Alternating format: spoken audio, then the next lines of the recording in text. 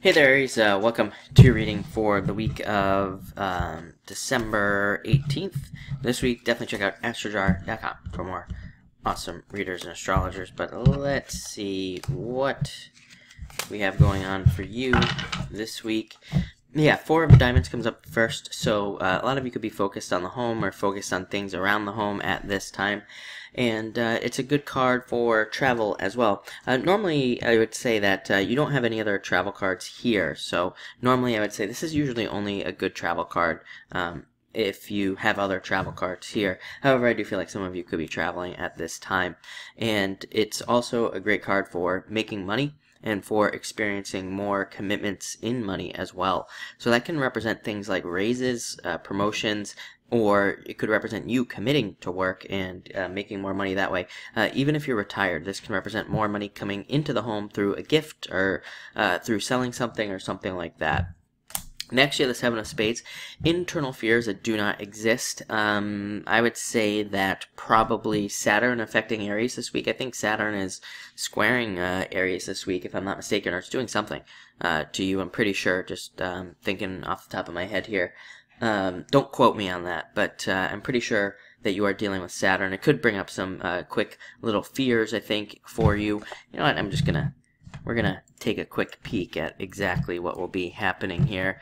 And through the power of television, you won't even realize that time has passed, right?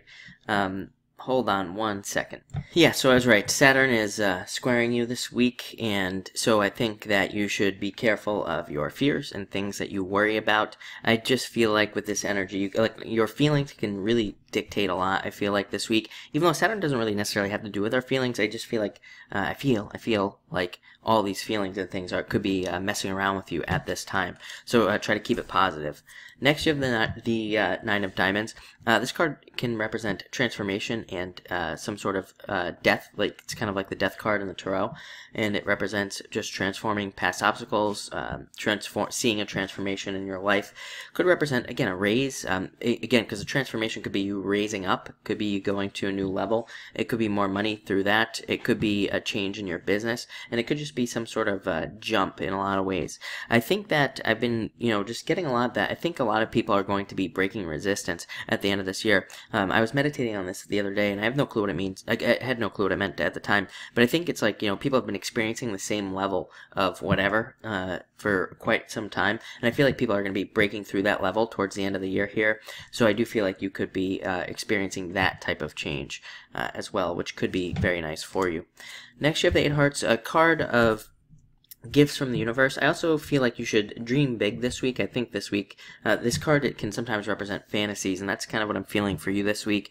And but these are uh, positive fantasies. This represents like fantasies that become reality, turning something that is a fantasy or a dream into a reality. So I think you should focus on that this week, on turning something uh, into a, a, reality. I'm going to do a video at the end of this month, towards the end of this month more, uh, when the en energy becomes more relevant. But um, you know, I've just been thinking. I think after this retrograde that you know kind of like what i feel is that there needs to be this like initial push from us. You know i think that if we want things to happen at the end of the retrograde we need to kind of like create this like initial amount of, um, of momentum towards the things that we want in life.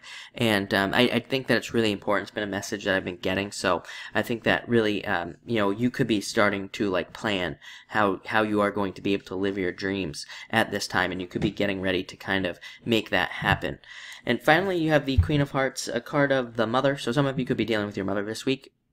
That could be very important, but it can also be the card of a birth of something new. And again, I think if any of you are birthing new ideas, I think it's more of like a plan. You're planning on how you're going to kind of like take off after the retrograde and make things happen. So I really like to see that for you as well. But it looks like a great week, so thank you for watching and enjoy your week.